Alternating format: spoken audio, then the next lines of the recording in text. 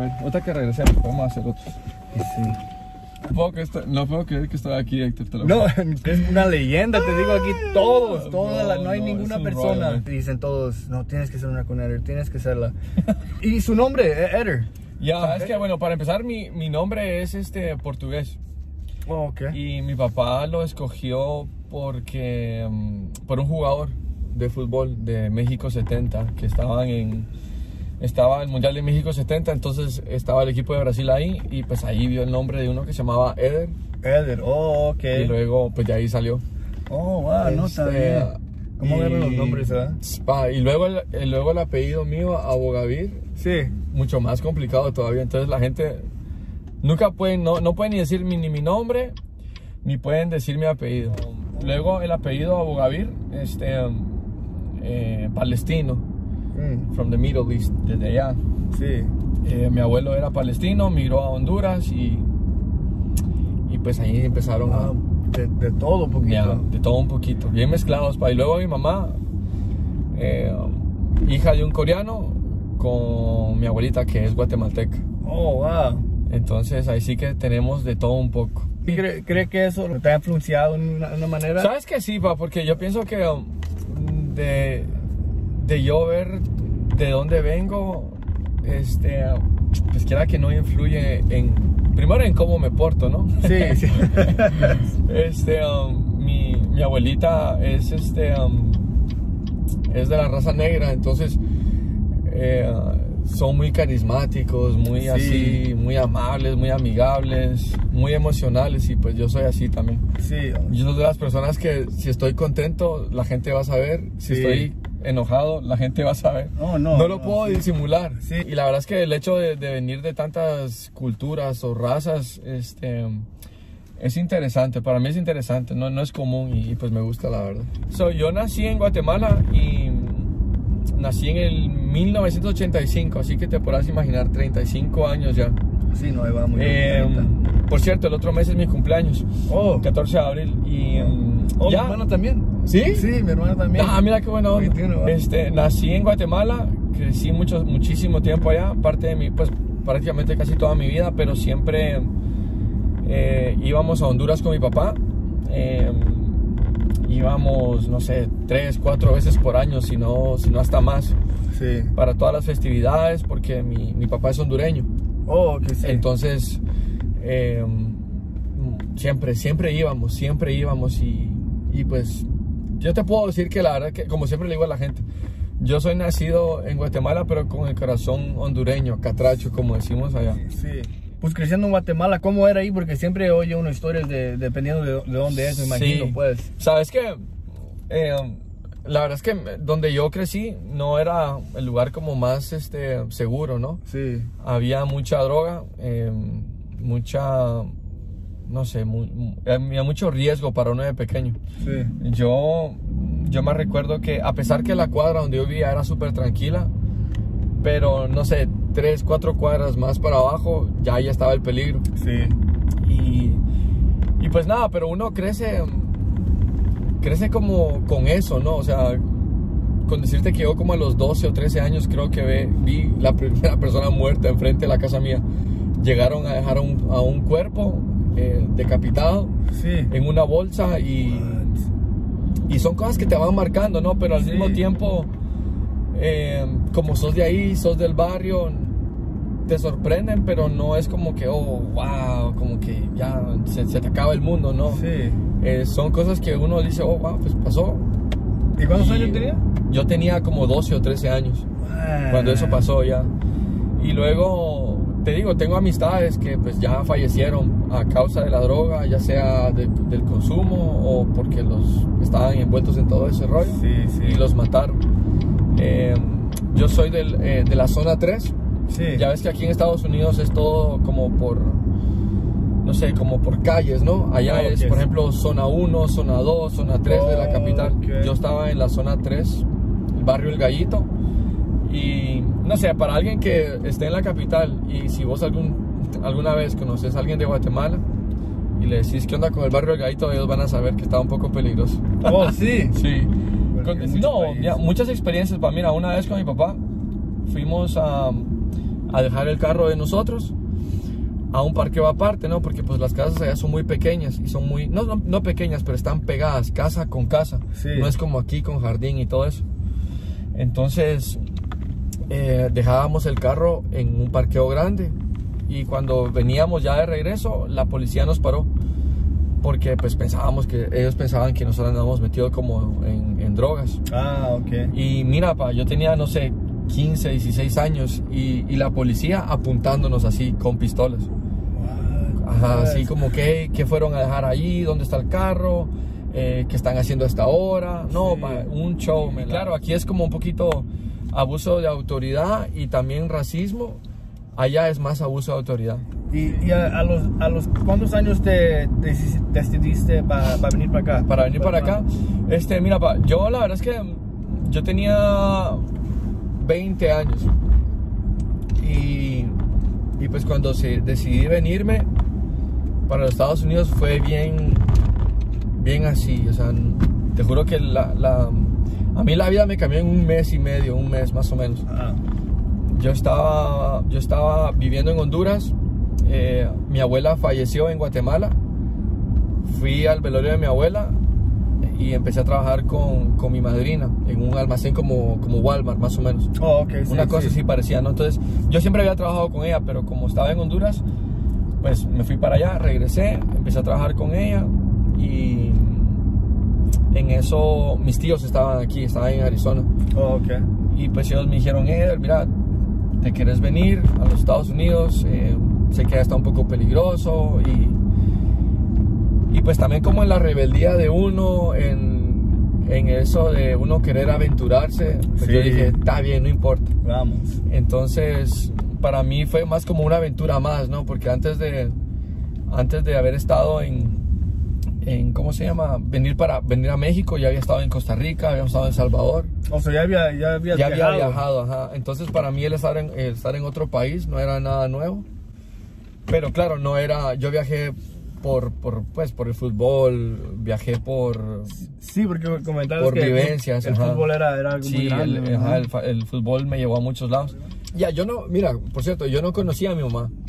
Sí, So, esa fue como la razón principal por la que yo vine, para conocerla. ya a conocerla. Yo, mi, mi mamá se vino a los Estados Unidos cuando yo tenía 3, 4 años. Entonces yo crecí con mi papá. Sí. Y, y pues te digo, entre la rebeldía, la inseguridad, entre no saber qué hacer con tu vida eh, y pues otras cosas más así como problemas, dije yo, mejor me voy a los Estados Unidos a conocer Sí. a mi mamá. Y pues vine, ya vine. Y pues nada, súper contento, no imagínate, de conocer a mi mamá. Yo me acuerdo que en las cartas que uno escribía a Santa, ¿no? Pues ya ves que te Sí. dicen, ay, que una, una carta a Santa, ¿no? Que quiero conocer a mi mamá. Y de repente, bro, a los 20, 20 años, pum, que se me hizo. Y, y pues no fue fácil, bro, porque pues yo, te digo, la juventud de uno, uno es rebelde, uno es tonto, uno hace cosas que no tiene que hacer. Sí. Y el hecho de no conocer a mi mamá ni a conocerme a mí, pues al principio sí nos costó muchísimo acoplarnos uno al otro. No, me imagino, me tiene que ser difícil esa Ya. plática de, you know, de, de por qué te fuiste. Mm, Sí, porque luego uno tiene preguntas y, y pues la verdad es que para eso no, no hay respuestas, bro. La verdad, Sí, después de tanto sí. tiempo uno, al menos yo, pues yo, yo siempre nu- nunca tuve un rencor así muy, muy fuerte con mi mamá, no. Simplemente con la curiosidad, ¿no? ¿Qué, qué pasó? Pero ya después, pues ya, gracias a Dios, ya nos llevábamos bien. eh, y pues ya ahora que yo tengo pues hijos, es, es mucho más fácil también, ¿no? Ya Sí, nos no. quiere mucho y más que el, el más grande, Enzo, se parece mucho a mí. Sí, no, me imagino. Ya, es entonces- como revivir, pues. Sí, revivir Joder. y quiera que no, pues ella dice, wow, así lo dejé y ahora pues lo puedo aprovechar por lo menos a mi nieta. El, el- el rencor, el no perdonar a alguien te hace mal a ti más que a la otra persona. Y sí, Ujú. eso sí es muy cierto porque Ya. se mira muchas veces cuando cómo afecta a la, a la gente pues que, Ya. que tiene ese dolor, ese rencor, Exacto. you know, pero Es algo bien como... Toca mucha madurez también, bro. Como decidir, ok, voy a perdonar primero a ti mismo, ¿no? Por tener el rencor. Y ya luego a la persona que según te hizo un daño. parece que te había sido para, para Nueva York. Oh, sí, sí, sí, sí. Yo en esos días, pues yo, yo tenía el, el MySpace. Sí, sí. Entonces ahí eh, yo siempre estaba mm, chateando con la que ahora es mi esposa, Tatiana. Sí. Y pasamos dos años así, bro, chateando, que videollamada, que texto, que ya todo. ¿no? Eh. Pasaron dos o tres años, creo que estuve aquí en, en Pasco. Y antes de eso fui a California. Viví como unos ocho meses en California. Regresé y tampoco otra vez como que, nada, de aquí no quiero estar. Y me fui a conocer a Tatiana, a Ah. Nueva York.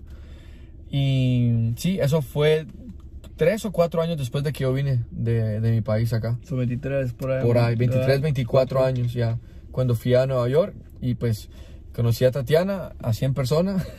It's crazy, wow. Ay, no, bro. Mira, lo bueno que no habían filtros antes. Sí, sí. Lo que había... Filtro, lo sí, que había, lo, lo que era. lo que había en la foto era lo que había. Ahora no sabes. Sí, no, ahora sí puede ser. ¿Qué dicen el catfish? Sí, bro, sí, ajá. Entonces, nada, yo llegué, mira, por cierto, yo llegué el sábado pasado, siete, eh, 12 años atrás.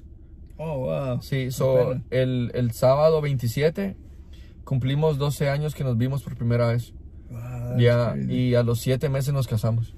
Ay, no, bro, quick. Pero también ya teníamos dos años hablando. Sí, eso ya no es como que apenas se habían Sí, conocido, sí, ya- sí, ya sí, es sí, muy sí. diferente eso.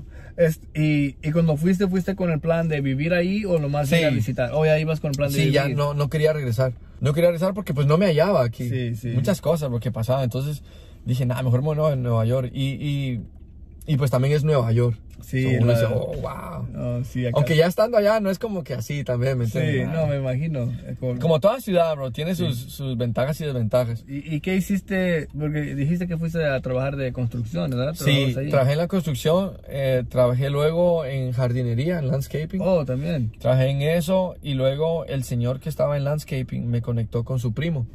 Y su primo tenía una, ¿cómo te decir? Una compañía de emergencias, ¿ves? ¿no? Entonces, por ejemplo, nosotros íbamos a donde iban los bomberos. Sí, sí.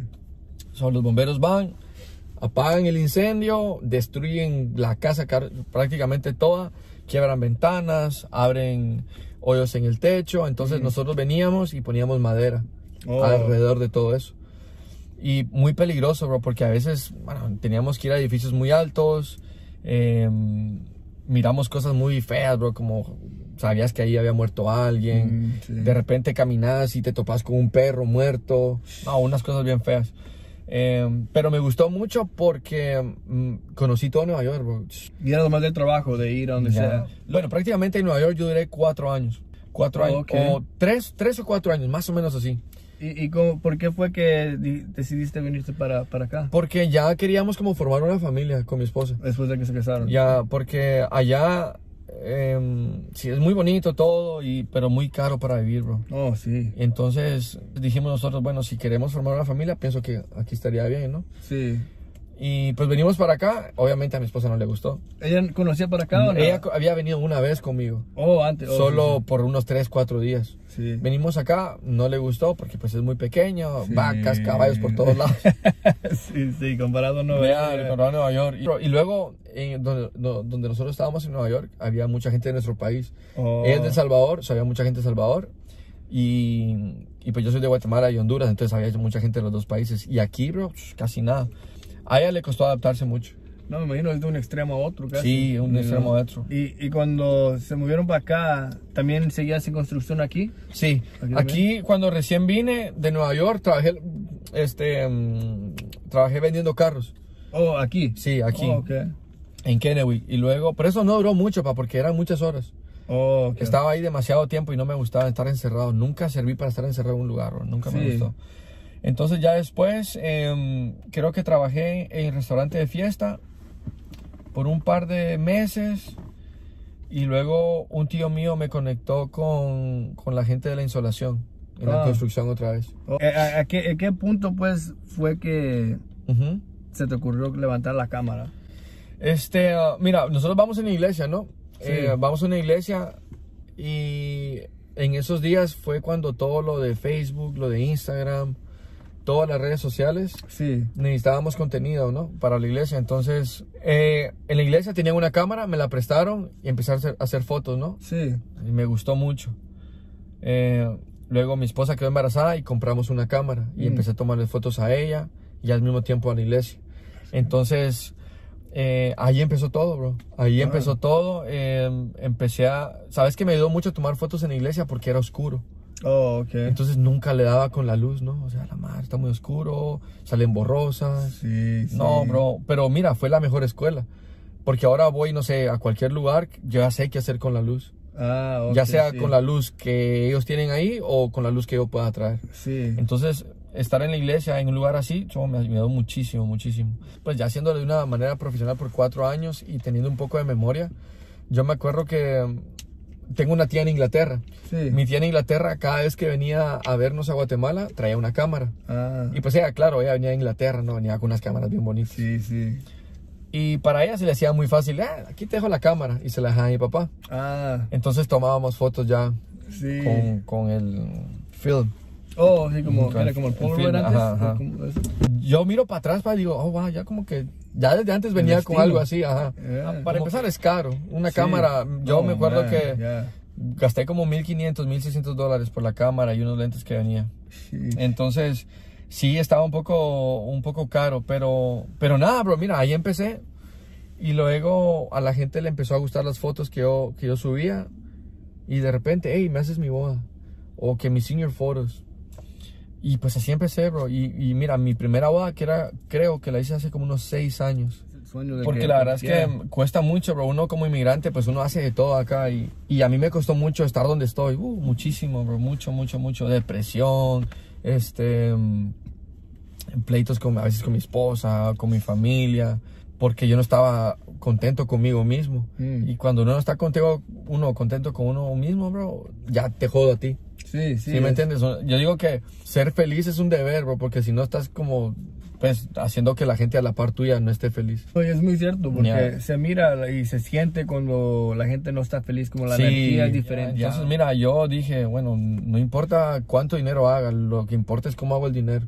Sí. Y lo empecé a hacer así con, con las bodas. Ya. Y, y dijiste que me habías contado que Ajá. al mismo tiempo estabas trabajando en construcción. Sí, trabajé. bodas. Mira, yo trabajé en la construcción, bro, y en lo de las bodas y en la fotografía al menos dos años. Pero sí, bro, mira, llegaba a la casa eh, a comer algo ahí rapidito y bueno, alistar la cámara y a salir.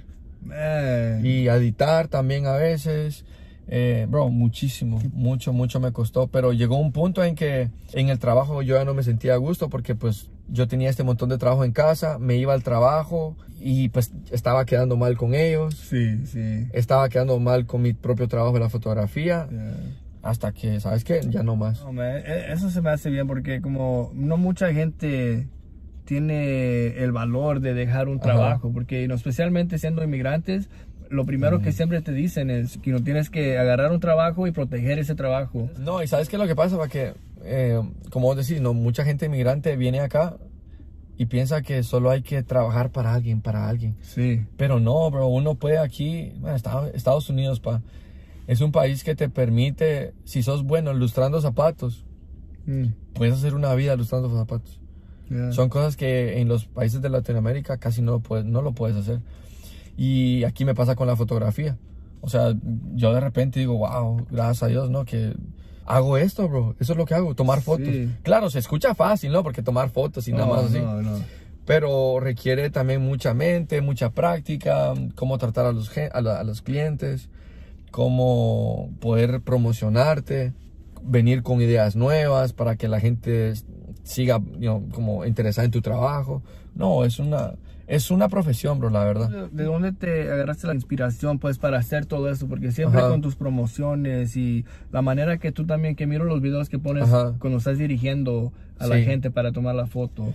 Fíjate que em, hay, hay veces que cuando uno está haciendo algo, pa, em, la gente te dice, oh, wow, como que you have a- a- como tienes ojo para eso. Sí, sí. Entonces, de que las cosas se vean bien, bro, ya como que uno lo trae. Ujú. Claro, tuve que aprender cómo posicionar a la gente. Sí. So, si yo te puedo hacer como una inspiración, sinceramente, pa, fíjate que no sé.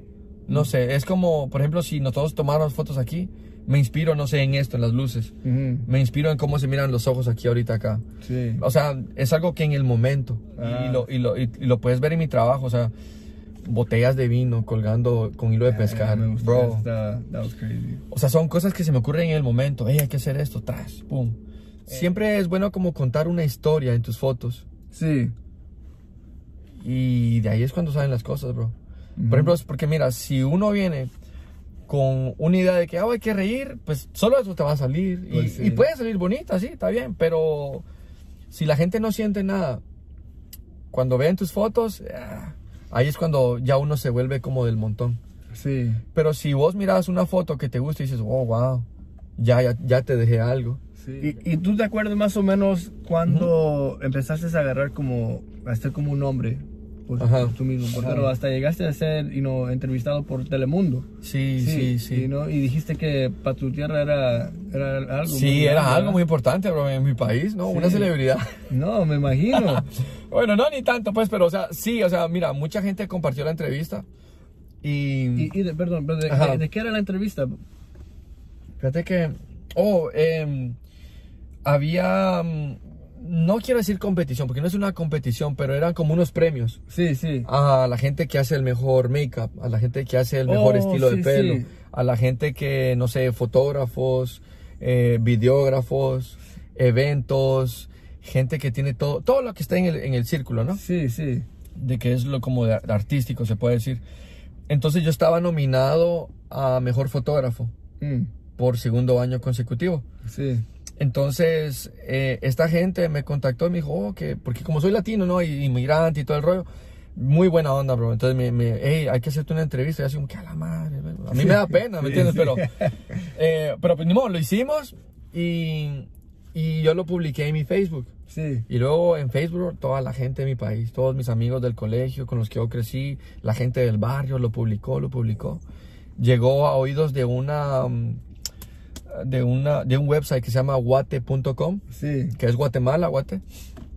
Y, y pues también ellos ahí me preguntaron unas cosas, una como mini entrevista. Sí. Y me publicaron en la página de Instagram y de Facebook de ellos. Oh, me, y me. So, bro, eso, eso sí fue bien. Mira, no me gané el premio, Oh, pero sí. eso estuvo mejor. Sí, con eso ya estuvo.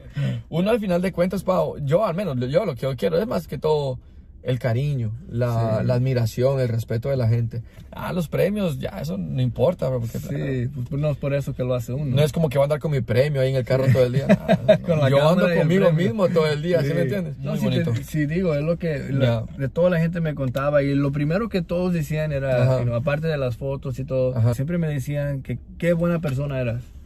Le decían, no, sí, eres, Ya, you know, porque es muy buena persona. Ajá. Todos, siempre. Después me acuerdo que pensé en eso y dije, y no, qué curioso que, que toda la gente diga lo mismo. Ajá. You know, no que- estás mintiendo. Sí, no, no, sí, pero no nomás eso que Ya. que eso no, no se oye de toda la gente, aunque no sean malas personas las otras personas, Sí. ¿verdad? Pero no, sa- eso fue lo primero Ya te entiendo. de ajá. diferentes personas. Dije, mira qué curioso que es lo primero Ujú. que todos dijeron. Ajá. Y no, So, eh, No, pa, yo, mira, yo siempre le digo a la gente, pa, yo a mí está bien que, que les gusten mis fotos. Pero si me quieren más a mí, estamos mejor. sí, ¿verdad? Sí, No, sí. Yo me la paso muy bien en lo que hago, pa. Y, y gracias a Dios la fotografía me ha llevado a conocer mucha gente. Eh, y esa gente, bro, me quiere, bro, así. Y, uno así, que a la madre, qué buena onda. Sí. Pues yo también los quiero a ellos, ¿me No, entiendes? pues sí, Muchas sí. amistades, bro. Muchas amistades por la fotografía. No, y, y- y fue, porque hasta dijiste que has, has viajado para tomar fotos, ¿verdad? Sí, sí, sí, sí.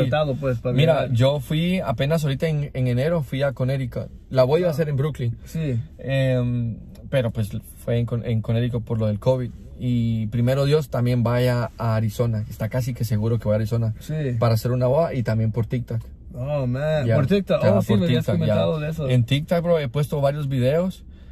Y ya, mira, hay como 5 o 6 videos con un millón de vistas Sí, para man, arriba. That's crazy. Entonces, bro, y es lo mismo, bro. Mira, ¿cómo, ¿cómo te puede cambiar todo por un video de 35, 40 segundos? Sí. donde le explicas a la gente lo que estás haciendo. Y claro, la gente ve, oh, wow, este es bueno en lo que hace porque Sí. me ven que con confianza, eh, no sé, como con autoridad, ¿no? Se puede decir de, de hacer Sí. lo que estoy haciendo. Y dicen, oh, no, pues él sabe lo que está haciendo. Y pues lo transmito en un video y de ahí pasan las cosas, pa. Y, y cuando vas a hacer las bodas, este, ¿te quedas todo el día o como? Eh, es dependiendo, pa, de yo tengo tres paquetes, ¿no? Son uno de 12 horas, de, de, mm, 12 horas eh, o 10, no me acuerdo. Pero por ahí, casi todo el día. Día, pues, más, prácticamente ya. todo el día. 6 horas, 8 horas, 10 o 12 horas. Yeah. Y, pero sinceramente yo me termino quedando más, bro. No me importa. Pero me gustan las bodas, pa, porque todo es eh, emoción. Mm. Eh, mira, te soy sincero, pa, yo en todas las bodas de la cultura de uno, en unas cuantas de los, la gente rusa, he llorado cuando veo que, primero cuando la muchacha va con su papá. Sí, yo sí. pienso en mi hija, bro, rápido. Mm. Pienso en mi hija, oh, wow, ojalá que Dios me dé vida, ¿no? Para poderla llevarla del brazo al altar. O también cuando miro que el novio baila con la mamá, pienso en mis dos niños con mi esposa. Mm. Este, um, o cuando, por ejemplo, estamos tomando fotos de la muchacha que la mamá le está arreglando el vestido. Ah, Todas esas cosas, bro. uh, yo estoy ahí, mira, yo estoy haciendo mi trabajo, ¿no? Obviamente, bien. Pero, ah, la madre, qué bonito, qué bonito. pensando. Pensando, bro, y pónganse así. Hay veces que ni digo nada, bro. Nomás dejo que todo fluya. Sí. Para que, pues, la, más bien la puedo regar. Ey, mira, no. Yo me muevo alrededor de la gente. Entonces, las bodas me gustan por eso. Con mucho esfuerzo, ¿no? Con mucha dedicación. Con el favor de Dios, con mucha humildad, bro. Uno puede llegar a eso. Cualquier Sí. persona, bro. Mira, yo le digo a la gente que recién empieza, ya sea en la fotografía o en cualquier cosa que ellos estén haciendo, a un lado de su trabajo que es el de 8 a 10, de 8 a 5, ¿no? Aparte de eso, la gente tiene que, mano, ser humilde, que se acuerden que aquí todo se sabe Sí. que, mm, no sé, que vayan para adelante, que siempre aprendan, que sean buena gente, que, mm, que le echen ganas, bro. O sea, es como muy cliché decir eso, ¿no? Pero es la verdad. Y como, como, como usted que ha trabajado, digo, viajado tanto y en Ajá. diferentes partes, especialmente con el lenguaje you know, español. Ajá. Hay palabras que son como de Guatemala, que Ajá. oye uno como de, México, de México, que significan diferentes cosas, o en otros países. Sí, muchas va. ¿Sí? Muchas, muchas. Eso no Mira, por ejemplo, en, en, en Guatemala, bueno, eso es una mala palabra, ¿no? Pero en Sí. Guatemala, morro. Morro Ajá. Morro para ti, ¿qué es? es como niño. Ya ves, Sí. que morro para mí es un, un- una persona homosexual. oh, yeah. Cuando estaba trabajando en, en fiesta, el señor me dice, El restaurante aquí. En, ajá, Sí. el restaurante. Me dice el señor, ve tráeme el, ve, ve trae el molcajete. Ajá, sí. Bro, en mi vida había escuchado que era molcajete. Sí. No sabía qué era, bro. Ahí me tenías ahí, porque yo lavaba, yo, yo era lavaplatos en, Sí. en fiesta. Ahí me tenías como loco, buscando no sé qué cosa, bro. el molcajete. Sí. Ya, esa chingadera. que No, mira, por ejemplo, cuando, ya ves que ustedes en México dicen la garra. La- sí. Una garra. Sí, una garra como para limpiar. No, hombre, bro, yo jamás en mi vida he escuchado eso. Una garra, yo pienso que una, como pezuña. Oh. Como una, Sí, sí. la garra de los, de los gatos, del, Ah, del tigre, de un perro. Sí, yeah. Bueno, no que la garra. Muchas ¿Verdad? cosas, Sí, bro, bien no, chistosas, bro. Por eso pregunto, pues, porque sé que en diferentes culturas Sí. son la misma palabra y son diferentes. No, mira, bro, mira, esta es la más chistosa de todas. Fui a la panadería los primeros años que yo vine y ya ves, ustedes tienen el bolillo, ¿no? Sí, sí. Ah, bueno. So, nosotros le decimos pirujo. Ah, ok. ya, ya te reíste, ya, ya, ya sabes por dónde va el rollo. sí, sí, sí, sí. Entonces le, le digo a la muchacha, no sé si le pregunté o algo, pero dije, oh, aquí están estos pirujos o hay pirujos. No, la muchacha se mataba de la risa, bro. Oh, No, man. ¿qué, pirujo, ¿qué es eso de pirujo, man? Pirujo es alguien mujeriego o algo Sí, así, sí. o piruja, una mujer así. No, yo me mataba de la risa, bro. Decía, no, ¿Cómo hacer un pirujo o algo así? No, no. Ah, Y pues ya me dijo bolillo. Y para mí bolillo, no sé, para mí bolillo es algo redondo y ya Una estuvo. bola. Ni siquiera lo usamos mucho, pero la Sí. verdad, en, en Guatemala ni en Honduras. No, no, es, no, no existe un bolillo, así Sí. como, no sé. Eh, bro, yo me tuve que aprender el himno de México. ¿El himno? Ajá. para que no me llevaran para atrás. Oh, Ahí me man. tenían, mexicanos al grito de guerra, al sonoro rugir Yeah. del cañón. Bro, me lo Eh, aprendí. Todo. Ya, mira, yo era de Veracruz. Yeah. ok, ¿cuál es la, la, la, la, Sí. la capital de Veracruz? Jalapa. Ah. Sí Bienvenido sabe. a su tierra. ahí. Oh, man, that's crazy. Ya, bro, ahí, ya. Pero este digo, bro, porque es que uno es muy vivo, pa, el, la- No, pues. el barrio te hace muy vivo, entonces uno sabe muchas cosas. Sí, no, Ya. ahí sí y pues nada, el hecho de estar aquí, bro, el hecho de estar aquí, el hecho de, de estar en un país nuevo, bro, uno tiene que respetar el país. No, no, gracias a ti. Y, y pues nada, yo la verdad es que, como le decía a Héctor, no me esperaba estar aquí. No, Yo miraba ahí el carro con las luces y yo, "Ah, a ver cuándo me monto. Y pues ya estamos acá. Sí, no, hombre, y es la primera. Y no, ya, después más adelante también, ojalá. Unos cinco años más y vamos a hacer otro. Sí, otra. Muchas Buenísima gracias, onda, estamos, Y Este, um, ahí vamos a seguir en contacto seguro. Ahora sí.